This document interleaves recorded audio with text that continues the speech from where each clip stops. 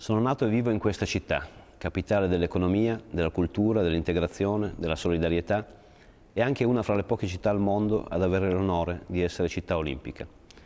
Arte, moda, automobili, case editrici, politica, tutto ha contribuito a costruire la nostra identità di torinesi. E così ha fatto lo sport, attraverso mille emozioni che mi piace riassumere in quella meravigliosa e magica serata per la storia della nostra città, quando il 10 febbraio del 2006 la fiamma olimpica si è accesa nel cielo di Torino. Lo sport è uno strumento per costruire cittadini migliori. Lo sport è uno strumento per costruire un mondo migliore in cui vivere e far crescere i nostri figli. Lo sport, per questa città, come per tutte le città del mondo, è un patrimonio, come un teatro o una biblioteca o un museo.